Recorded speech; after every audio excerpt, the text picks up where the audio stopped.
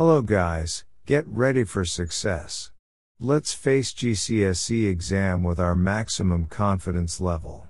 In this video we will discuss some of the previous questions with answers and formulas. Please subscribe and get our daily videos. Question number 1. The region of space around a magnet is known as a magnetic field. Which of these diagrams correctly represents the magnetic field around a bar magnet? Answer is option B. Magnetic waves always travel from North Pole to South Pole. Question number 2. The diagram shows two bar magnets placed close together. Which of these describes what happens to the two magnets? The options are A. Nothing happens.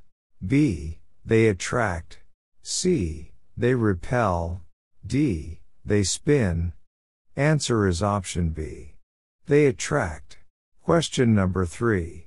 Which of these magnet arrangements gives a uniform field between the poles? Answer is option C. Question number 4. State the name of a material that would be suitable for use as a permanent magnet.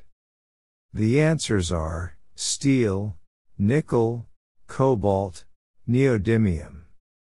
Question number 5. Describe an investigation that could be used to determine the shape of the magnetic field around a bar magnet. Answer is we need to use multiple plotting compass and mark the dots and trace the magnetic field. Question number 6. Wi-Fi signals are electromagnetic waves that can be transmitted at frequencies of 2.4 GHz and 5.2 GHz.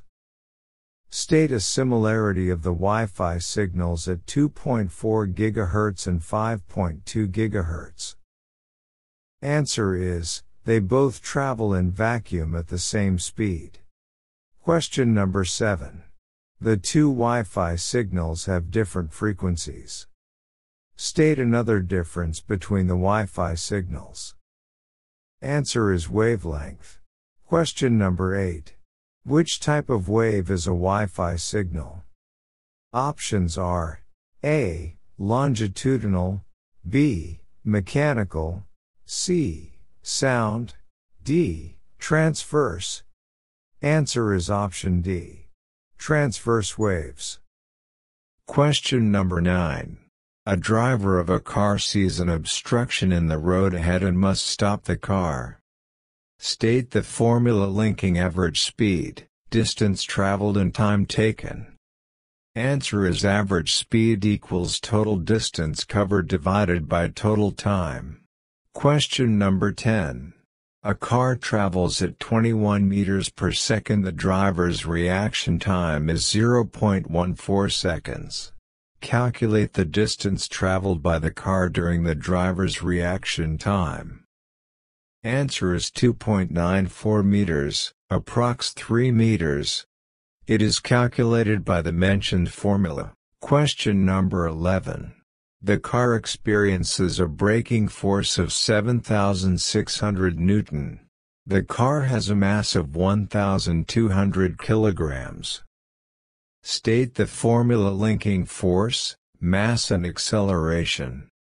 Answer is force equals mass into acceleration. Question number 11b. The car experiences a braking force of 7,600 Newton.